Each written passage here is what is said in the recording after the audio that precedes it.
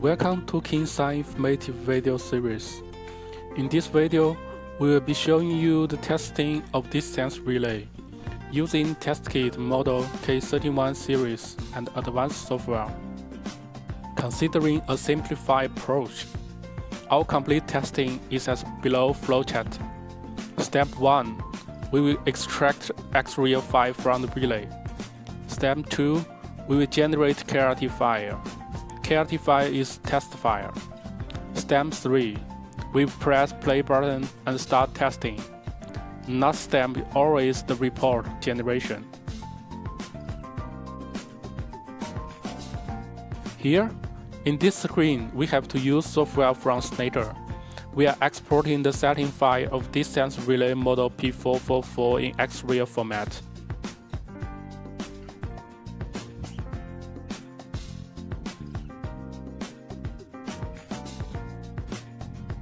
In next step, let's click on Test Center of KRT software. As you can see, Test Center is having two options, New and Open. If we are testing relay first time, we have to select test template of that particular relay from template library. Kingsine is having an ever-expanding relay template library, which user can get from the installer. In this scenario, we have a template file of relay P444. So step 2, let's import template file into software. Let's move to KRT screen, click Test Object button, and then click to find Edit Import Template options. From the drop-down, we get option Import XRIO. We can import our existing XRIO files as step 3.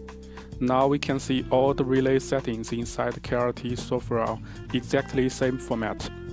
Once we are done with about 3 steps, we can enter in the test window and start testing. In shoot test, user can select multiple impedance points directly from the graph. All points are tested on a single command. The success test point become green, while the failed test point become red. Please have a look on the test center P444 on the right top corner of the screen. There, you can observe we have selected shoot test and search test. Once shoot test is complete, software will automatically start in testing in search test model. In search tests, the zone boundaries and reaches are got many automatically. You can very see all these points are stored in table for automatic processing.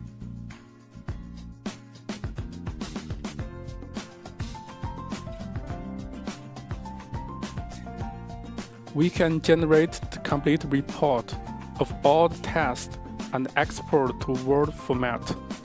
We wish by this video we are able to throw light a few capability of Kingsine Advanced Software Distance Model. Thanks for watching our informative video series.